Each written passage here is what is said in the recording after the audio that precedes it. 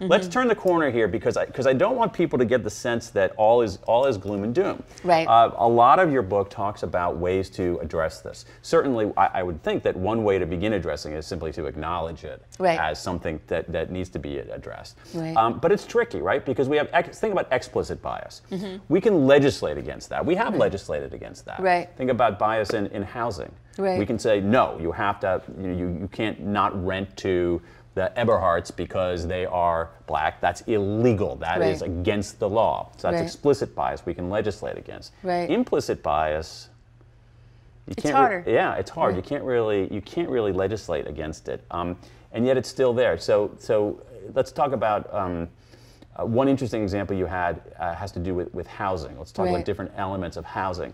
Uh, sale price of homes, for instance, was mm-hmm. kind of shocking to me as well. Yeah, so we did a study where we were interested in the role that race played um, in the housing market, and you know there have been lots of these studies done by sociologists, where but they're like sort of big correlational studies, yeah, kind of showing you know homes in this area you know are worth you know less than homes in this other that kind of thing. What we wanted to do is to take the same exact home right. and have it um, you know be a home that's occupied occupied either by a black family right. or a white family. Everything else is identical, right. right. About the home, the features of the home, and so forth, to see if you're given the same house, the same, you know, sort of, uh, you know, home to consider, like how, what is the role that race is playing in how you would evaluate that home. And we found that they evaluated the home more negatively when we asked them to um, imagine uh, the neighborhood surrounding that oh, home, yeah, uh-huh. right? So we didn't give them any information right. about the neighborhood. Right. We just said, imagine, you know, what the neighborhood is like. They imagined a neighborhood that was more rundown. They imagined a neighborhood that was more crime-ridden, uh, poorer schools, uh, fewer financial um, institutions, so on and so forth. So it, so it was. Um, you know, just with a single black family, you know, we can have all of these associations right. kind of come online and then influence our decision making. It influences whether we're going to buy that house, how much we want to pay for that home. It influences, you know, sort of even even how much work needed to be done on the house before you could put it on right. the market. To me, what was interesting was was the price because that's so easy to measure, mm-hmm. and there was um, about a twenty thousand dollar drop right. in if the house had been inhabited by an African American family rather than by a white family. Yeah, so simply imagining Yeah. neighbors Yeah. who are black led that home to be Yeah. worth twenty-two thousand dollars Yeah, less. yeah, and it's and but we've seen this before. I mean, it's it's it's again, it, it, it's a combination of both our nature and the society we live in. It's that there always is this. Uh, certain view of outgroups. Yeah. Uh, there, you know, we have in-groups and out-groups, obviously, sturdy finding in all of social science. Um, but every once in a while, the out-groups are characterized as dirty. Yeah. As, ver- you know, we see it now in some of the language in politics now. There's people are disgusting. For in. immigrants, Yeah, yeah. exactly. Vermin, or you, for the whole idea of, oh, we don't want those dirty Jews living around us. Yeah. Um, and so it's such a pernicious problem. Yeah. Um, but let's talk about some solutions. Let's talk about Airbnb, the the the start billion dollar startup that is Right. turning people's guest rooms into youth hostels. Um, they experienced um, a problem with implicit bias, but they actually took some action. Tell us about that. They did take action. So it's interesting. I mean, this is a- an interesting case. You're sort of saying historically how this has happened to a variety of groups, and that this has happened Yeah. in housing in particular. Yeah. And um, even though we have laws to legislate against it, right? Right. So so now you, you have you know.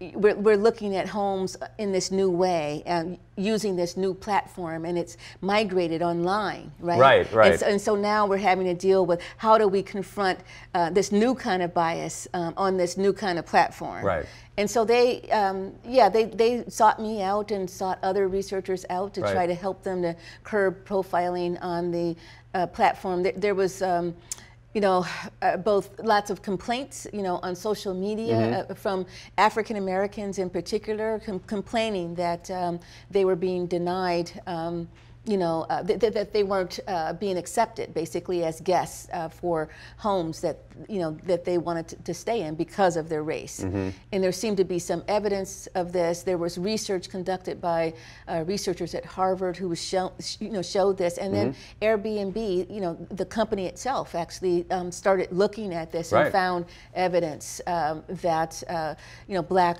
uh, you know, uh, guests were, were being turned away at higher rates than others. Right. And, but but they, they, they, they took some action though, which They gives us did. which gives us some hope. They, they did. Yeah. I mean, so they um, they hired someone to uh, to, to come in to uh, try to um, sort of.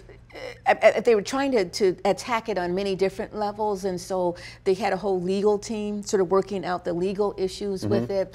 They also um, uh, developed this uh, community pact that, that people would sign. Right. Uh, it's basically a you know a pledge Sure. to abide by the policies of Right. Airbnb, which is that you don't discriminate. And Right. so, in order to actually use the platform, you have to sign off on it. Right. You have to agree to this. Right.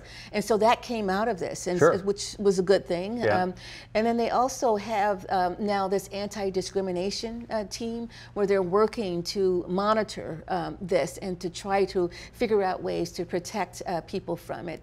They even like if guests get turned away, they promise those guests that they would find Oh. other ho- housing for them, and so so they have taken uh, you know many many steps uh, Mm-hmm. to to to address it. But it's a difficult thing to address, right? And Right. Which is why the anti-discrimination group is an ongoing group. Sure. You know, so they're they're meeting all the times to Right. make sure that they keep Right. keep their eye Right. on it. But I, but that left me hopeful that you Yeah. have this big billion dollar company that is actually taking what seems to be pretty serious uh, steps, and and, Mm-hmm. Yeah. and and certainly their response to the initial complaints was not, what are you talking about? This is not really going on. Is to say let's look at it. Whoa, the data show this is going on.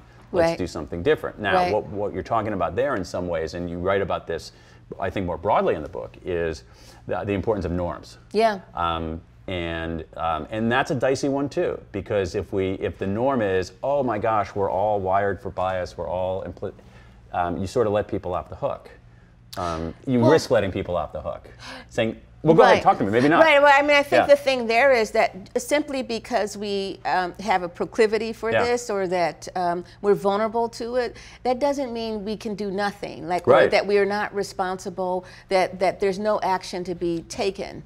You know, that's something that's Sure. altogether different because there are things we can do. I mean, even though we're vulnerable Yeah, to bias, yeah. you know, we, we can manage it. There, there are things that we can do to put the brakes on it.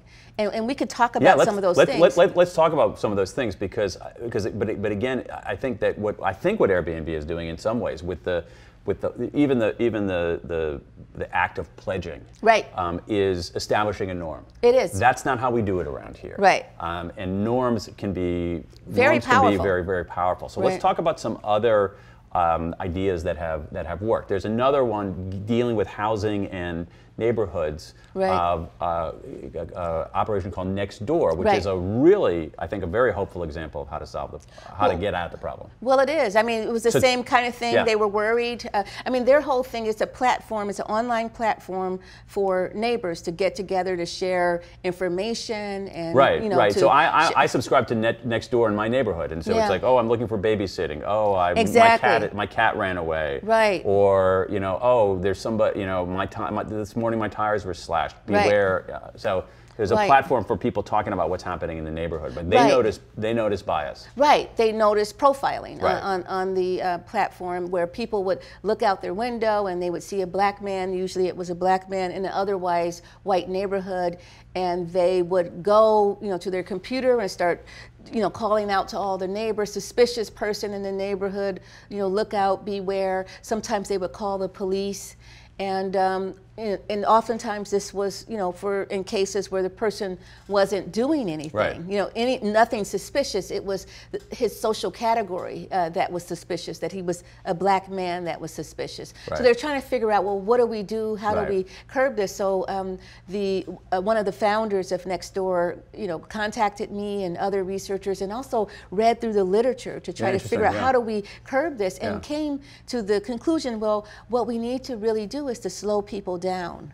Exactly. right? We need to slow them down so that they don't just get on it because they're in a heightened state, right? They Exactly. want to alert their neighbors right, Right. away, um, and they're they're worried, they're threatening, they want to protect everyone, and so it's one of those situations where you know bias can you know, can, can get the best of you and affect um, how you're making decisions. Right. So, but the issue was with the slowing down is um, that it was kind of against, um, you know, you know, the main philosophy behind building these tech products. They're all about removing friction. It is. And you're and what you're saying is a solution is introducing friction. Yes. So in the Nextdoor example, So- explain what they explain what they did. So they ended up saying, okay, this is an important problem. We're going to have to take the risk, introduce this friction. So, so now when you hit the crime and safety tab as a neighbor and you try to go. Right. shout out to everyone, Right. suspicious black man or whatever it is, um, you have to slow down. You have to look at a checklist and Uh-huh. go through this checklist. There are three items on the checklist. Yeah. Um,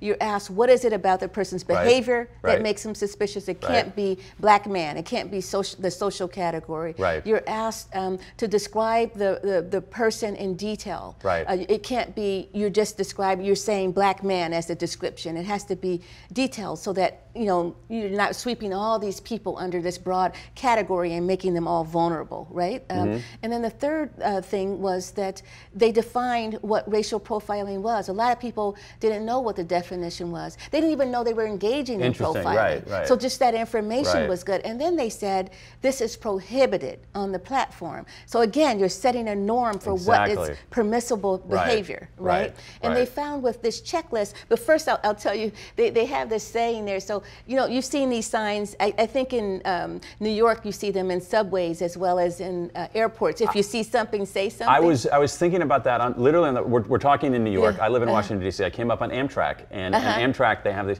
If you see something, say something. If you see something, say something. But you have a better approach to that. Well, they did. Oh, so, it's so, they, uh-huh. so they modified Uh-huh. that. So it's if you see something suspicious, say something specific. say that again because I think that is great guidance. If you see something suspicious, say something specific. Yeah.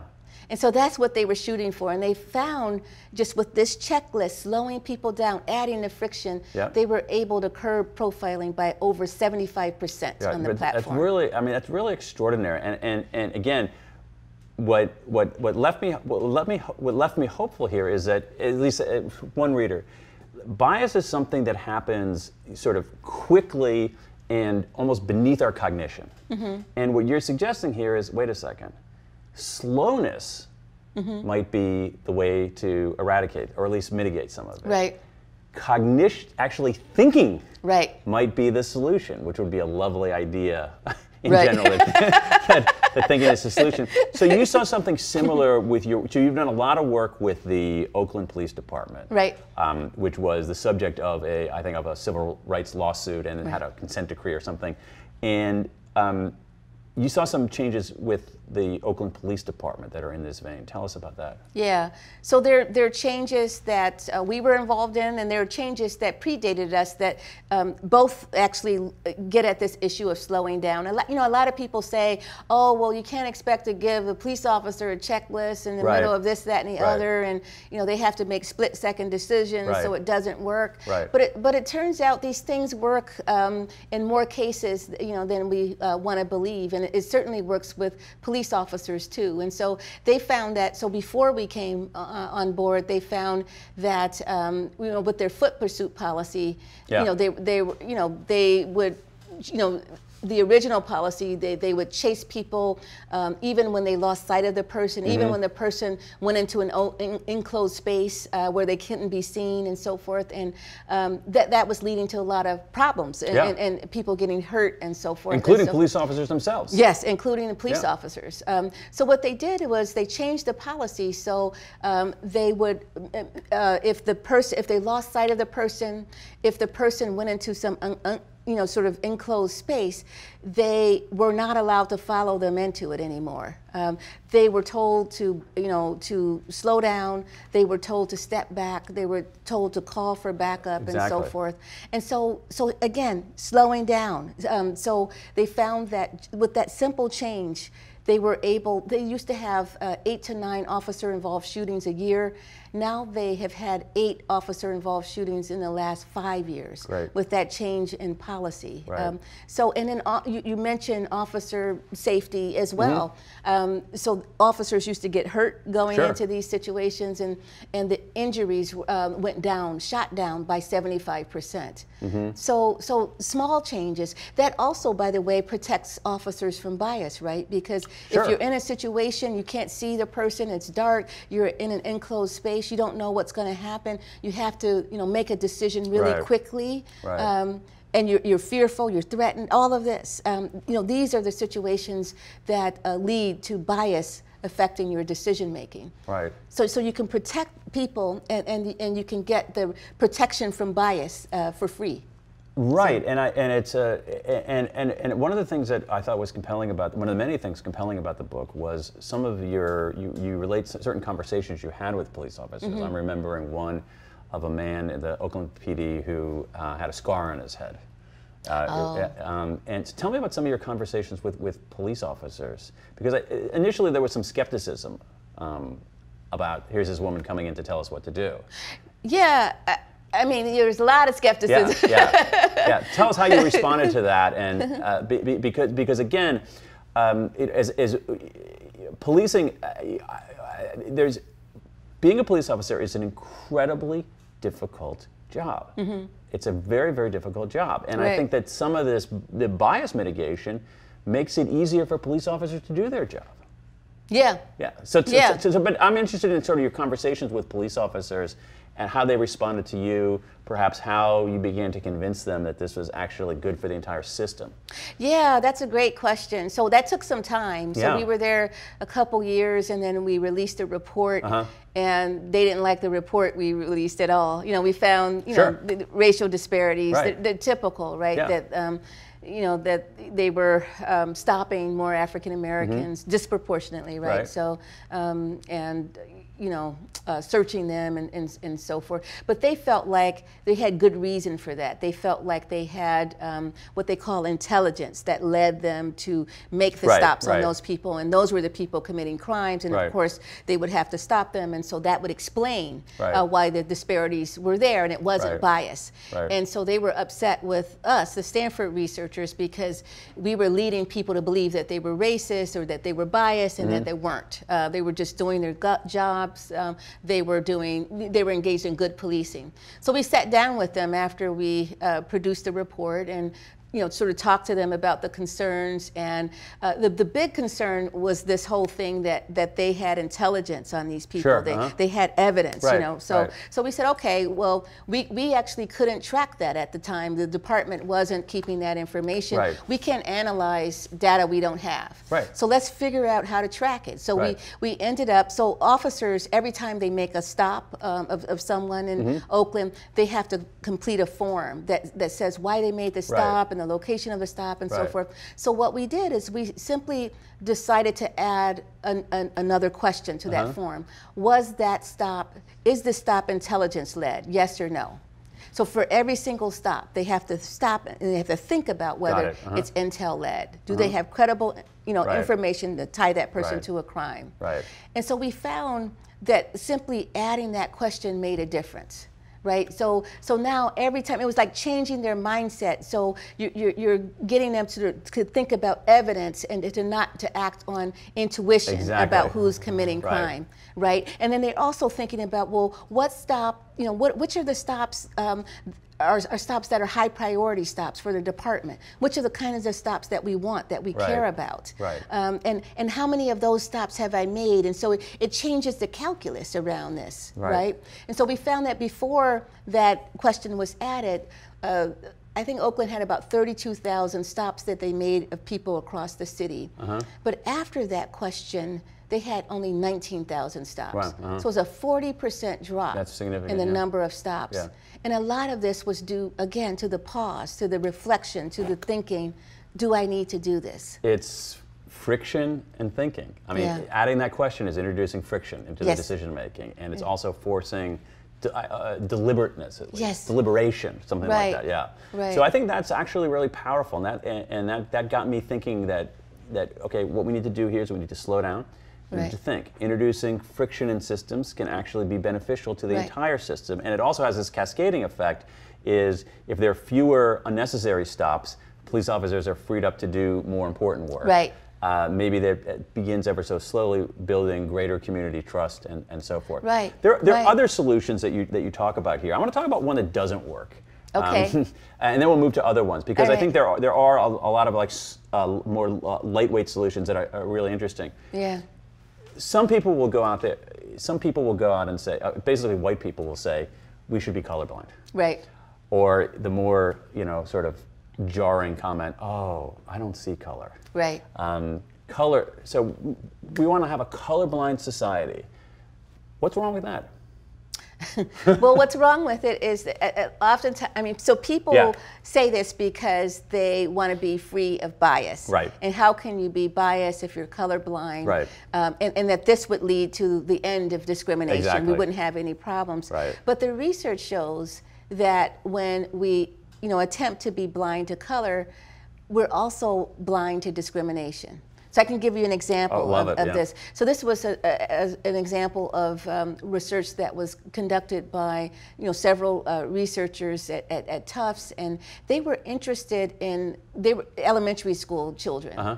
and because in schools, uh, school a lot of schools push this colorblind message. Teachers push it, the administrators push it. Be colorblind. Don't Right, notice right. color. And not right? from bad So- motives, from actually- from good from actually very positive from motives, good right, motives. uh-huh. And, and I mean that's the whole thing about also being a social scientist, Yeah. right? That that that we have all these intuitions about what works and Exactly. what doesn't work, but when you put it to the test, sometimes you get surprising Exactly. results. Um, so so what they did, they took fourth and fifth graders, and um, to uh, some of the fourth and fifth graders, they gave them a message. They they said we all um, you know are in favor of racial equality. We want to live with racial harmony, and so therefore it's best not to notice color. It's best, it's best to be colorblind.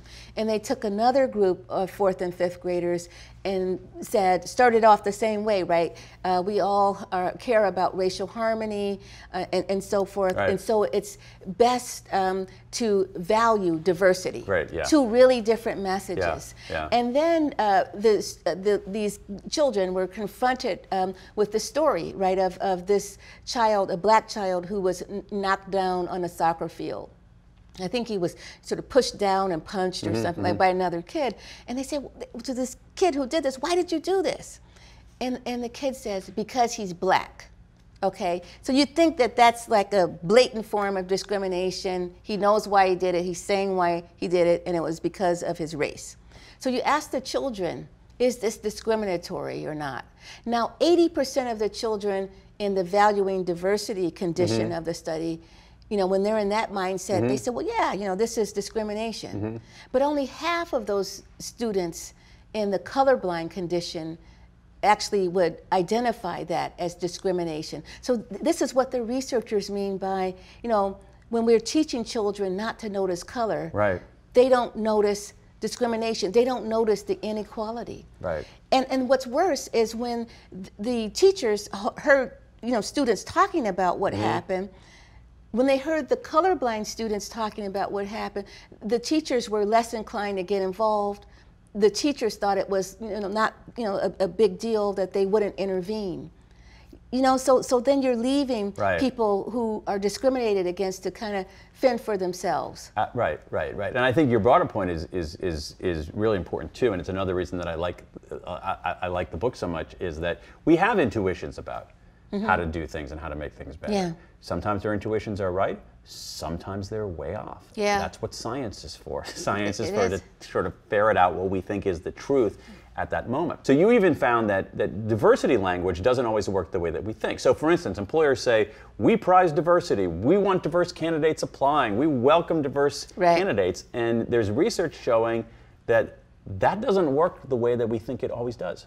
It doesn't, and, and I think applicants who are, you know, you know, people of color, for Yeah. example, are worried about this and are, are aware that it doesn't always work in the way, um, you know, that that they hope. And so th- those students, uh, th- these are um, college students in, in these studies, Yeah. they've taken to what they call whitening the resume. I mean, it's so common that there's a term for it, whitening the resume. Yeah. And researchers have looked at this with both African American college students and Asian students who are, um, you know, f- finishing college and Right. about to enter the job market, and they're worried about um, their race and preventing them from getting, uh, you know, the jobs that they apply But for. But the worry is understandable because th- there's research showing that actually signaling Yes. diversity, as much as organizations say they want that, signaling diversity can actually work against the candidate. Right.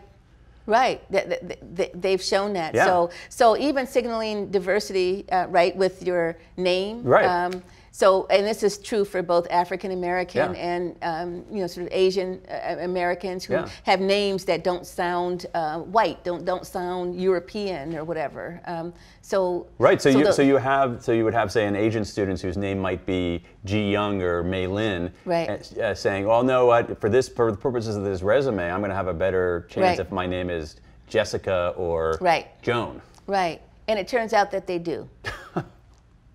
Yep. even for companies that, that say we value diversity and for the, you know, the students who believe that and, and it's okay this, this company is signaling to me that they value diversity that they're okay with me being non-white um, you know they, they actually get fewer callbacks Yeah. from those potential employers Yeah, that, that's one of those, even that phrase to me is so jarring, white, whitening the resume. But there are some small things, going back to solutions here for a moment. Um, uh, talk, talk about uh, empathy interventions uh, for students, uh, especially younger kids. Yeah, so this is um, re- researchers. Actually, this is at my home institution at Stanford. There are a number of, of, of researchers. Um, Jason Okonofua, um, who was a graduate student at Stanford, he's actually now at, at UC Berkeley, and and um, Greg Walton and so forth. They they did studies where they were interested in. Um, you know, uh, racial disparities in discipline. Um, so I had done some studies with uh, Jason uh, before this, where we were showing,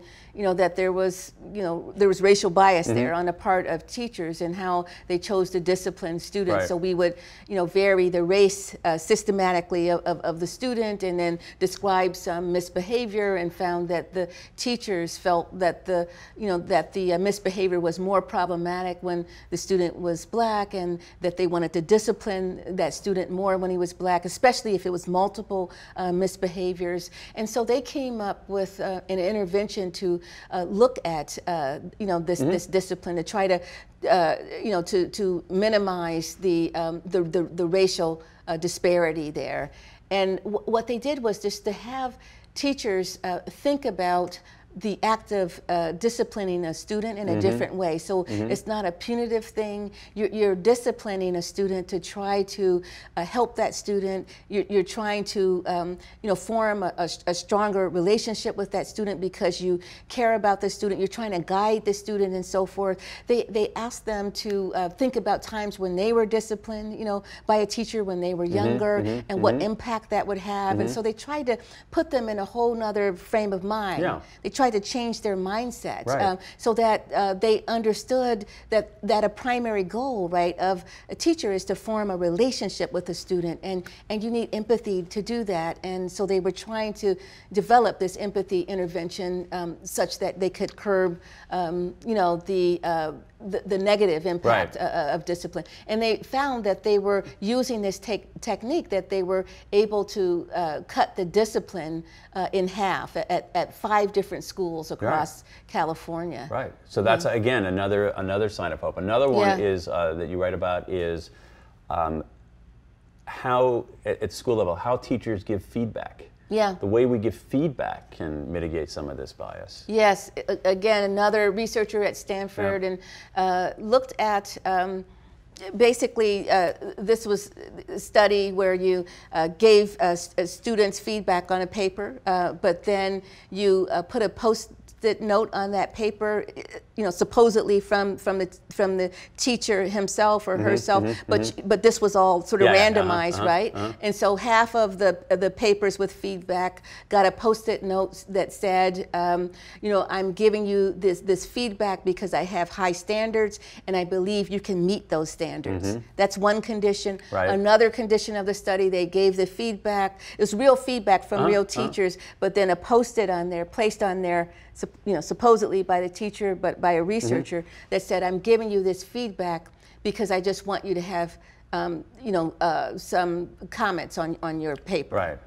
And they found that what they call the wise feedback Right. condition, where they were told, I have high standards and I believe you can meet them, that the students just responded in a, in a completely different way. They were more likely to revise the work. They were uh, more likely to, you know, to resubmit it. They got better grades later um, in the course. Um, they felt better about the teacher and about school. You know, it, it, um, it assuaged their concerns about trust, you know, in, in the teaching environment. And, Right. you know, and these are children, so th- the effects were strongest, right, with um, children of color, with African American uh, students, and with Latino students, and um, not much of an effect one way or another with white students. And the researchers believe that's because, um, you know, those students are already, they already trust the institution, Right. you know, they already, you know, sort of Right. feel comfortable there. Right. They're, they, they're not sort of suspicion, uh, suspicious of the teacher's motives and, and so forth. And so, uh, and, and they're, they're encouraged all the time. They're given this sort of positive feedback all the time. And so it's n- nothing new, really.